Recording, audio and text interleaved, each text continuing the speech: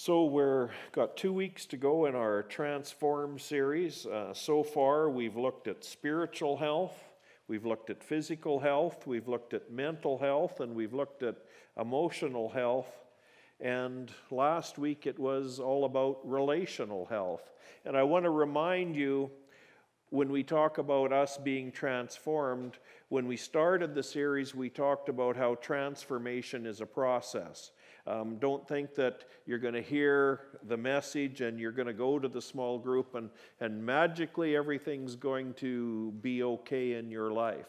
Like, I hope it works that way and I hope God touches you like that. But, but more often than not, transformation is a process. And we want to give you some truths that will help you to speed the process along. Sometimes, if we don't know that there's more or we don't know what to do, it makes it hard for us to become the people that we really want to be.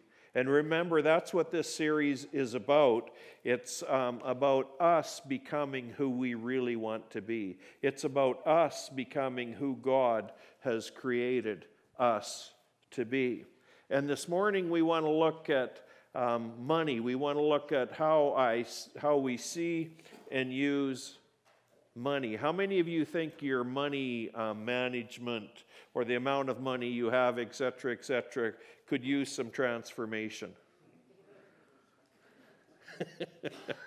Three honest people here. Four. I, both of my hands would go up.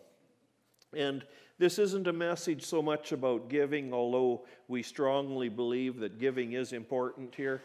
But what this message is about is money management. And the Bible talks an awful lot about money. I don't know if you realize that, but the Bible, or I mean, Jesus talked more about money than he talked about heaven and hell combined. And half of Jesus' parables are about money. In fact, in the books of Matthew, Mark, and Luke in the New Testament, one out of every six verses is about money and money management. And so, how we manage our money is important, and we want to look at that um, as we go on here. You know, whether we want to admit it or not, money dominates our lives. And we need to learn to manage it because if we don't manage it, it will manage us. You know, most marriages, or a lot of marriages, anyways, end up in divorce because of money issues. So that's just one small illustration of how important it is for us to be um, stewards or managers of the money that God has entrusted to us. And we want to look at a passage that's honestly, it's hard for us to understand. And when you read it, it's one of those things that, well, this doesn't make much sense. And so it's something that I would call a jump passage. It's kind of, you just read it and jump over it, and you don't spend much time thinking about it. But it's a passage in Scripture that we call the dishonest steward. And Jesus is using this He's using the illustration of a dishonest steward to make a point to the people that he's talking to. So let's look at the passage this morning. It's found in Luke chapter 16. It starts Jesus said, There was once a rich man who enlisted a manager to take care of his property. But the manager was accused of wasting his master's possessions.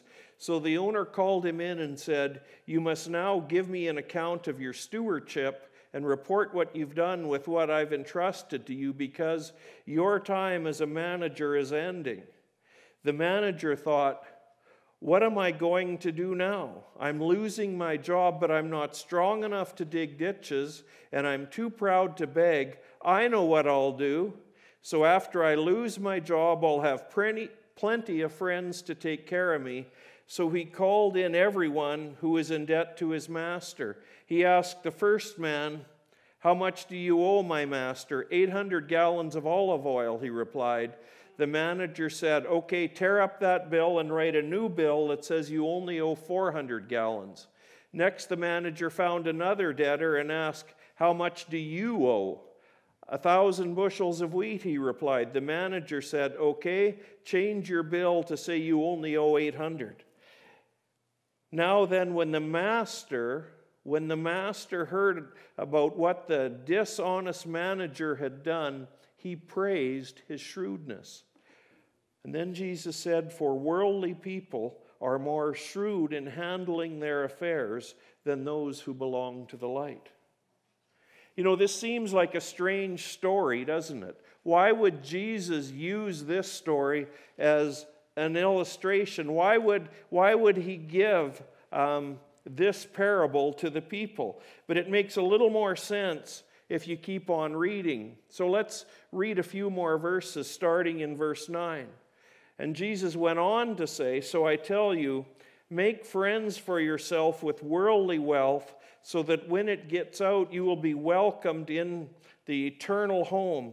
Whoever is faithful in small matters will be faithful in large ones. Whoever is dishonest in small matters will be dishonest in large ones. If then you have not been faithful in handling worldly wealth, how can you be, tra- how can you be trusted with true wealth? It's interesting. Jesus says if we're not taking care of the money that He's given us, if we're not taking care of the earthly wealth that has been entrusted to us, He's saying that we can't be trusted with spiritual wealth. Verse 12 says, So if you've not been faithful with what belongs to someone else, who will give you what belongs to you? No servant can be the slave of two masters. Such a servant will hate one and love the other, or he will be loyal to the one and despise the other. You can't serve both God and money.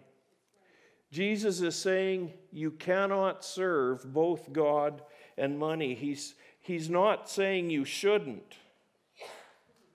He's saying it's impossible to serve both God and money at the same time. And when we look at this passage, it's important for us to note a couple things. Remember, Jesus is not praising the guy's dishonesty, he's praising the man's shrewdness.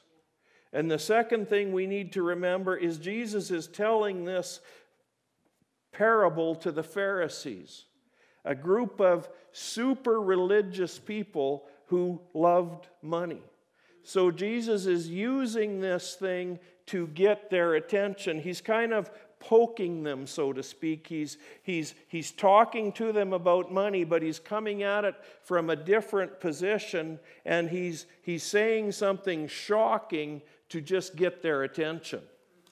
So remember, that's the context in which this passage or this parable is told. And there's some things that we can learn from the story of the um, dishonest steward.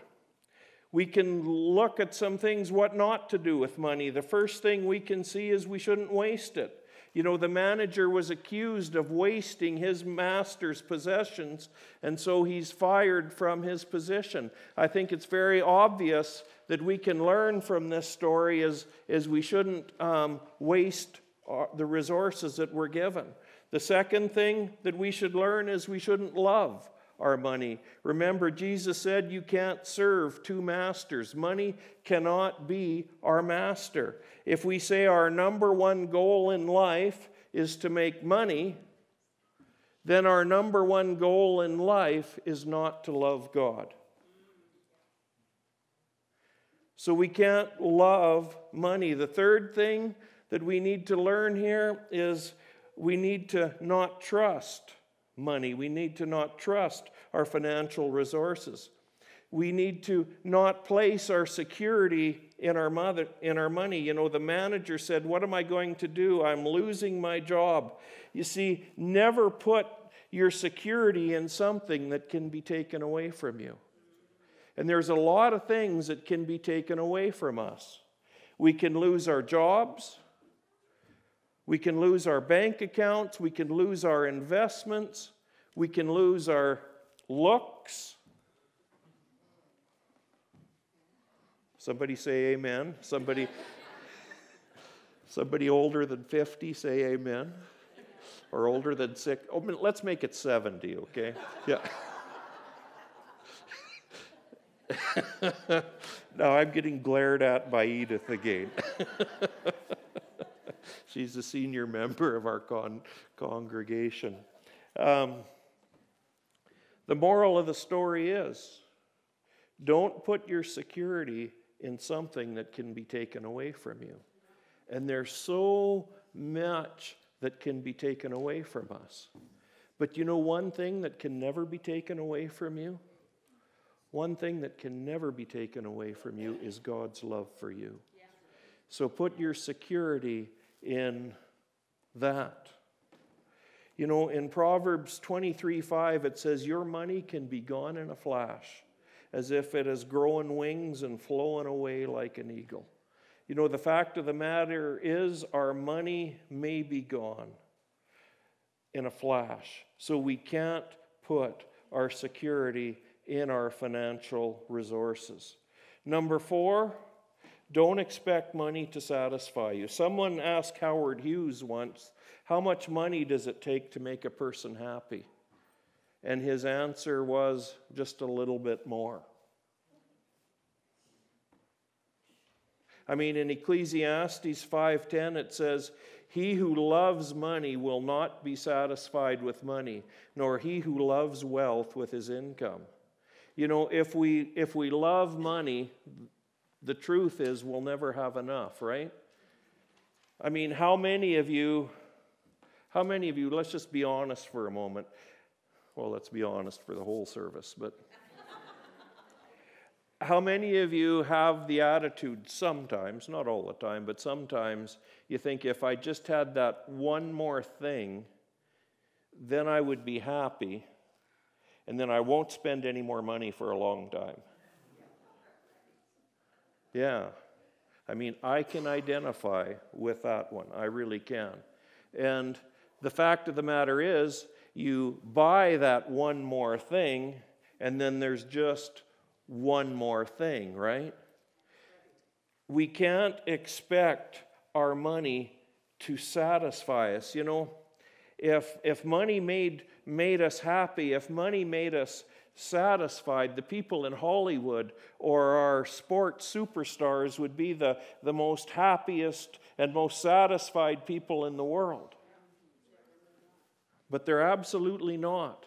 So we need to remember that money won't satisfy us. In Luke 12 15, Jesus said to them, Be careful and Guard against all kinds of greed. Life is not measured by how much one owns. So, from this parable, we can see that we shouldn't waste money, we shouldn't love it, we shouldn't trust it, and we shouldn't expect it to satisfy. Now, let's flip the coin and let's look at some positive things that we can gain from this passage. What we need to remember is Number one is that it all belongs to God. You see, the fact is, you really don't own any, anything. The fact is, everything that you have belongs to God. Everything you have, God has given you, and He's given it to you just on, just as a loan. I mean, there's nothing that you have that's going to be permanent. All, everything you have is going to be taken away from you when you die, right? We're not going to go into the next life with absolutely anything physical that we have here.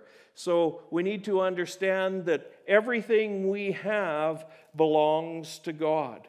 And when we, when we understand that everything we have belongs to Him, when we understand that everything's been given to us as uh, something that we're supposed to steward or something that we're supposed to manage, it makes our life so much easier.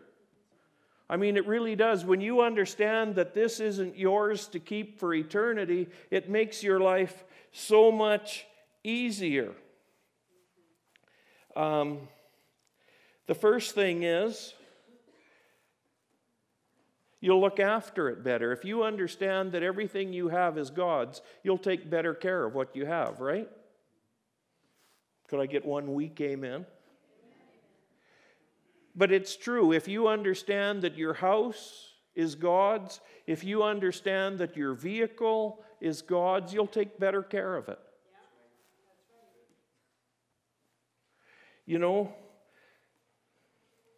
we'll look after it better. The first line of the parable is the owner enlisted a manager to take care of his property. And when you understand that it's God's, you're going to look after it better. The next thing is if something happens to what you have that's outside of your control, it's okay. Imagine that you park your car in the parking lot and you park it within the lines and you're diligent in your parking if that's possible. And then somebody runs into your vehicle while it's parked in the parking lot and you come out and see that. Your world doesn't end. It's God, your car's got a dent in it.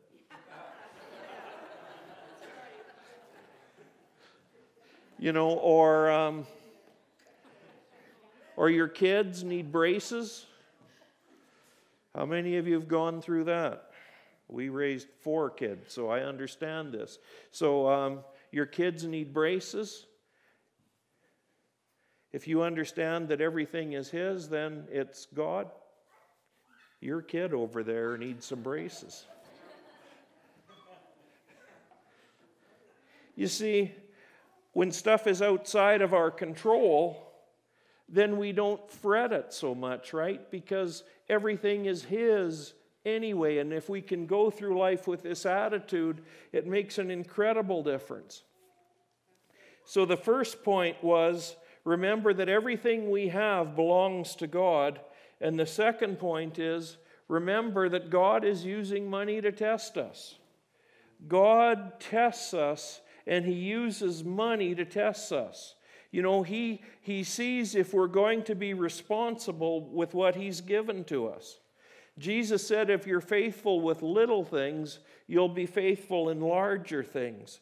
God uses money and how you handle the money that He has given you, He uses that to test you. Money shows us what we love the most. You know, if I could put every penny that you spent up on the screen here from last year, I could tell what you really love. We all could tell, right? What you really love, what you think is important. You know, what do, what do you spend your money on? It shows where your heart is. It shows what you value. It shows what you love. In Matthew 6 21, Jesus said, For your heart will always be where your riches are. Your heart will be where your riches are. You know, if you want to um, really pay attention to the stock market, buy some stock. If you don't own any stock, you're not really interested in what happens there. But the minute you own something, then all of a sudden you start to pay attention to what's going on in that area. You see, your heart will show you, I mean, your finances will show you where your heart is. You know, a number of years ago, Joyce said to me, and I'm ashamed to say this, and I wish it was when we were first married, but it was halfway through our marriage, Joyce said to me, You know, Chuck, she said, You spend most of our money. And that doesn't leave me money to buy what I need. And I really paid attention when she told me that. And I realized that it, I realized that she's absolutely true. She was absolutely right in what she was saying. And I mean, with me, it's like, yeah, go buy what you need, right? But she's much more financially responsible than I am. And so she would say, you know, man, we don't have much there that we can spend on this. And so she wouldn't spend it on herself. And that showed me where my heart was at. You know, we need to be careful. And in your relationship with your spouse, if you're like me, you know, pay attention to what you spend on yourself and don't spend it all and leave some for your spouse when, when you're doing your budgeting and when you're and when you're figuring stuff out. Can I throw something in for free here? If you're the one that's on the short end of this stick, let it go.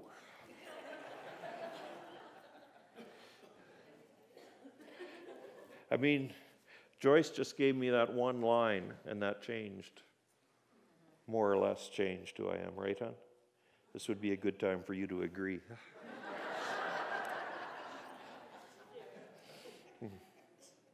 But you know, what you spend your money on shows where your heart really is.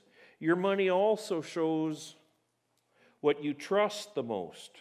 Your, your money shows what you really have faith in. And so the question this morning is are you trusting in your money for security or are you trusting in God for security? In, in Proverbs 11:28 it says trust in your money and down you go. Flourish in, or trust in God and flourish as a tree. You know, the fact is that if we're putting our trust in money, we're going to be sadly disappointed in life. Our trust needs to continually be in God. And the next point here is your money, how you spend your money, shows if God can trust you. It's not just about if we trust God, but it's also can God trust us. And how you spend your money shows whether God can trust you or not. We don't like to think about this. But you know, the fact is, we think that God can just, and, we're, and we want God to just give us more, right? We want God, when it comes to money or when it comes to influence or whatever it is, we want God to just give us more because we think if God would just give us more, there is so much that we could accomplish for Him and for His kingdom. Our life would be so much better if God would just give us more.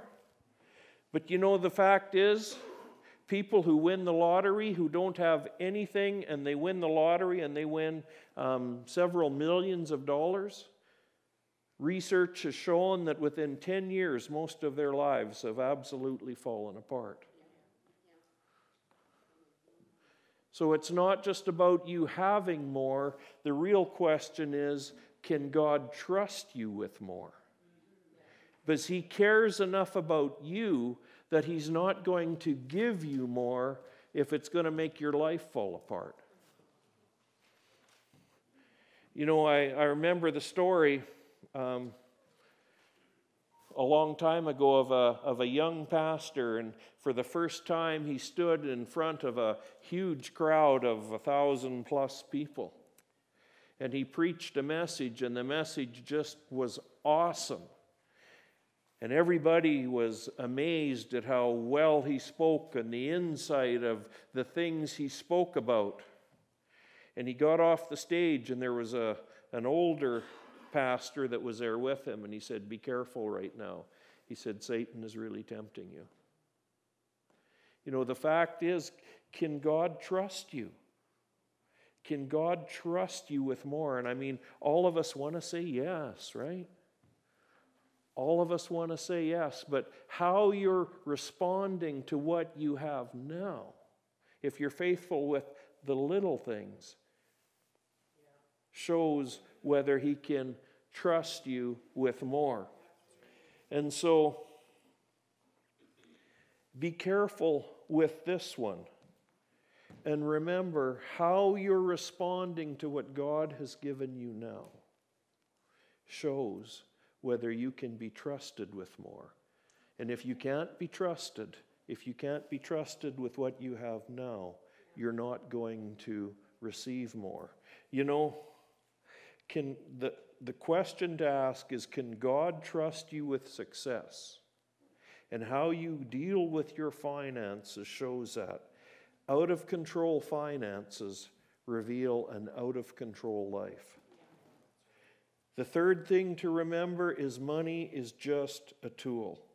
Money is simply a tool to be used for His purposes. It's neither good nor bad, it's a tool that God wants to use. So let's look at some things that the dishonest manager did that we can learn from. The first thing he did is he looked ahead.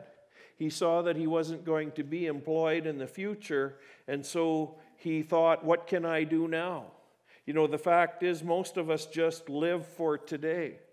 But we need to look, we need to remember to look ahead. In Proverbs 14:8 it says, "The wise man looked ahead, the fool attempts to fool himself and won't face the facts." You know, when it comes to finances, don't deceive yourself into thinking that everything is absolutely going to be okay in the future. That, you know, I've been through life long enough to know if you start to get behind in your bills, it's incredibly hard to catch up. You know, you think, well, it's okay, I'll just miss a. Uh, used to be TransAlta, what is it now? Um, ENMAX, whatever bill, you know. So, well, you know, they'll let me go. They won't cut off my power in 30 days. So it's okay. I'll go out for supper and I'll pay my ENMAX bill next month. Man, it, when you get behind, it is hard to catch up. Should I continue lecturing on that point or should we move on? Face facts. Don't just think that everything's going to be okay. Did I read Proverbs 14:8? It says the wise man looks ahead. The fool attempts to fool himself and won't face the facts. Let's move on. What this manager did, this dishonest manager, what he did is he made a plan. He says, I know what I will do. So, how about you? Do you have a plan when it comes to your money? You know, really, what I'm talking about is do you have a budget? A budget is simply planning your spending. And in Proverbs 69, it says, We should make plans counting on God to direct us. So the dishonest steward, he made a plan. And then the next thing he did was he acted quickly. He doesn't say, One of these days I'm going to. He acts instantly. And you know, don't put off with the budget stuff, don't put off looking after your finances. Yeah, I don't feel like it today, and I don't feel like it next week, and I'm not going to feel like it next month. Reality, right? Bite the bullet and do it now. And number four, the best use of money is to get people into heaven. Jesus said in verse 9, He says, Use worldly wealth to gain friends for yourself, so that when it's gone, they will welcome you into your eternal dwelling. He's talking about having friends in heaven because of how you spent your money. He's not talking about salvation. We're not, we're not talking about buying a relationship with God. Please get that through your head. This morning, I am not talking about buying a relationship with God. Our relationship with God comes because of what Jesus Christ did on the cross for us. And that is the only reason any of us, myself included, myself doubly included, that's the only reason any of us have anything going for us. Right? Now that I went into that little rant, I forgot where I am here. He's saying, use your money to make friends for eternity. You know, the people who went on a mission trip, right? They spent their money for eternity. They spent their money to make friends for eternity. They went and they, um, Mike told me that they gave some money to I forget to Tom and Lori who were in the Baja house, but they but they gave some money to some other people when they were there as well. So that's exactly what this verse, these verses are talking about. You know, use your money to bring people into the kingdom of God. Use your money to um, buy somebody to take somebody out for dinner and pay for dinner for them.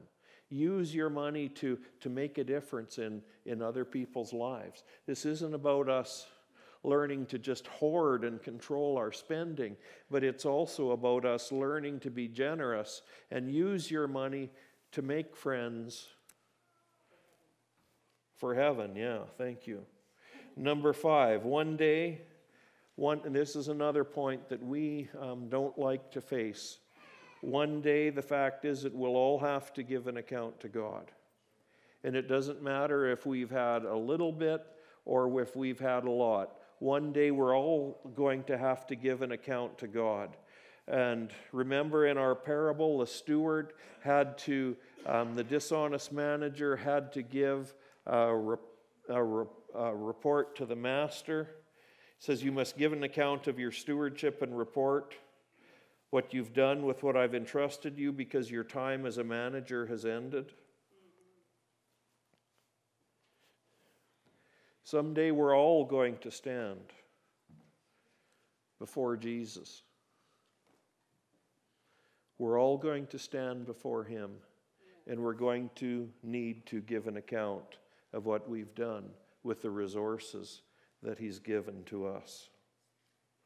What you use your money for is important. We don't like to think about this kind of stuff, but you know, it's true. Um, and the sixth point is if we're faithful with the little God has given us, he will entrust us with more. If we go back to verse 10, it says, Whoever can be entrusted with very little can also be entrusted with much. And whoever is dishonest with little will be dishonest with much. You know, if God has given you a little talent, you need to be faithful to use it. If God has given you a little influence, you need to be faithful to use the influence that He's given you. And it's the same with your money. If God has given you a little bit of money, you need to be faithful to use the little bit that He's given you. In Matthew 25 29, it says, To those who use well what they are given, even more will be given, and they will have an abundance. But those who do nothing, even what little they have, will be taken away. Use what you have. You know, God has given each of us so much, and we need to use what He's given to us. I know Dr. George, the head of VCI, said that he, um, head of Victory Churches International, he said that he never thought that he was supposed to do what he did. He thought that he was probably about number three who God had called to do something. You understand what I'm saying? I'm trying to wrap this up. The point is, the point is, you know, what God has given you, use it. Or God may have to call somebody else. I remember way back when I was trying to decide if I needed to, I really believed that God was calling me to start a Bible study with just a few of my friends. And I went to the church pastor and, and asked him, and he thought it would be a good idea. And I remember very much I'm still trying to decide if this is really something I want to do or not. And I'm laying on my couch I don't know why God speaks to me on my couch. Maybe it's because I'm there so often. I don't know. or maybe it's a sign that that's where God speaks to me, so that's where I should be more. but I remember, I remember very plainly,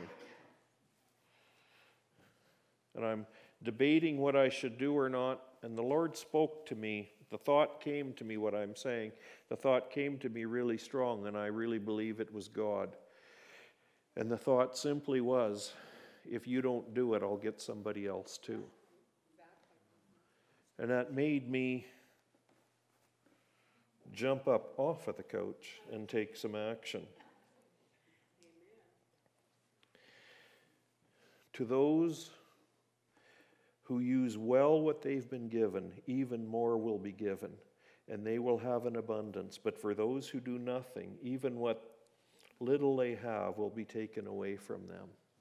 It starts today, and it's not about whether we have a lot or a little, but it starts today that we need to use those things that He's given to us. You know, if you're gonna, if you're gonna say, I'm to wait until I have a lot, you never will. Use tithing as an example. God has asked us to give 10% of our income to Him. Remember, everything is His, but God asks us to give 10% of our income to Him. And what point was I trying to make? If you're going to wait until you have enough money to tithe, you never will.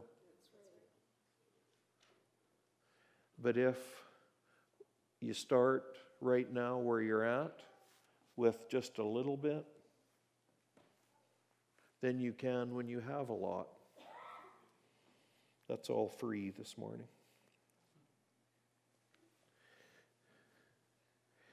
If God sees that you can be trusted with what you have, He's going to be faithful to give you more. In verse 11 again, if then you have not been faithful in handling worldly wealth, how can you be given spirit? How can you be given true wealth? Do you know what the true wealth is? The true wealth is spiritual wealth. And you know, when you think, I was thinking of the Psalms as I was praying yesterday. You know, where's David's heart? You know, as a deer pants for the water, so my soul longs after you. However, that goes, whichever version of the Bible you want to use. You know, but there's so many there's so many different verses. Um, David, David says in another place that he longed to be in God's presence. He longed to be in the courts of the Lord. You know, the fact is that if we um, are good stewards of what God has given to us, remember, I am not talking about buying a relationship with God. I am not talking about that. That is just not true. But if we're good stewards of what God has given us, then he'll give us more. Remember the remember there's a couple parables. You know the person who lost a coin and they um, did everything that they could to find the coin that they'd lost. You know, we want more of God, right? We want more of God. Or the person who um, found a pearl in a field and then they um, sold everything they had so that they could buy this field with a pearl in it. Is that the right story, Pastor Nick? You know, you see, the true riches come from Him. The true riches come from Him, and what we want is a deeper relationship with Him. Oh, my goodness, people. There's nothing else that will satisfy other than a relationship with Jesus Christ. There's nothing else that even comes close in life. I don't know if there's anything in life that is as good as developing a close, intimate, deep relationship with Jesus Christ. And this starts and grows as we're good stewards of the resources that God has given us. You know why God called me to be a pastor? Please don't anybody shake your head and say, I have no idea.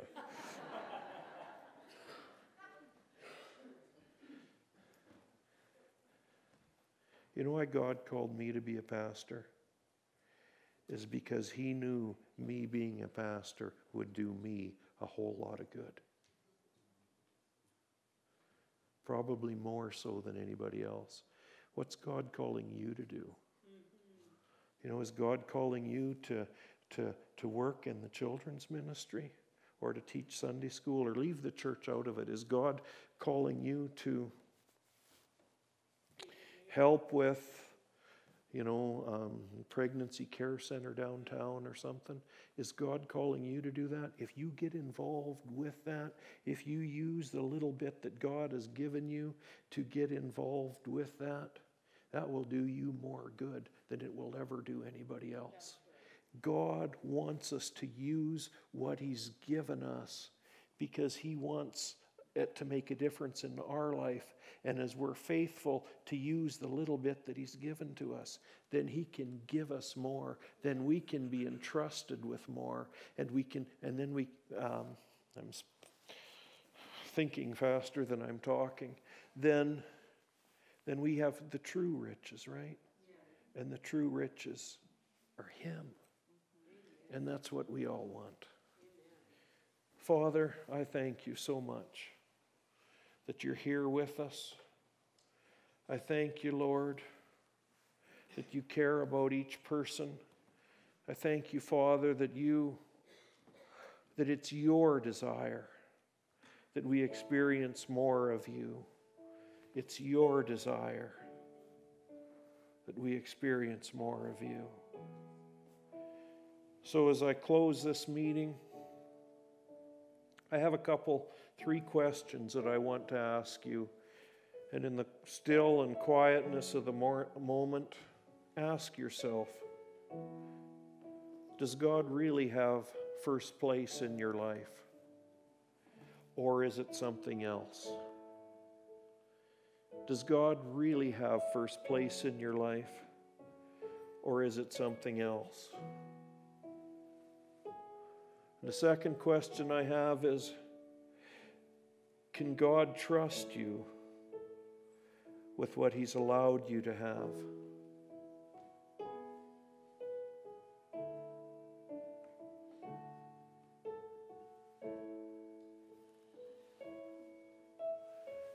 The third question is Are you really being a good steward or a good manager of the opportunities that are coming your way.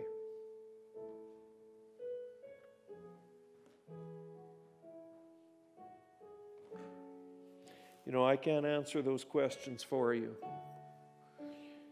But I think each one of us need to answer those questions. You know, really, it's just you and God. And you know what? If you can't say that you're doing the things that you need to do, if you can't say that there's something else that's first place, and if you can't say that God is first place in your life, if you honestly say it's something else, you know, the really good news is that we can we can repent and he forgives us. And it's not about where we've been in life, it's absolutely about where we're going. It's not about where you've been, it's about where you're going. And God is so willing to accept you right where you're at. God is so willing to, to take you right where you're at, and He will take um, those wrong decisions you've made. He will take those um, foolish things you've done. And if you give your life to Him, what He promises to do, He will take even those bad things and He'll turn them into good for you. What an incredible God we serve. He doesn't hold grudges, He doesn't hold our past against us. But He takes us right where we're at when we're willing to give ourselves to Him.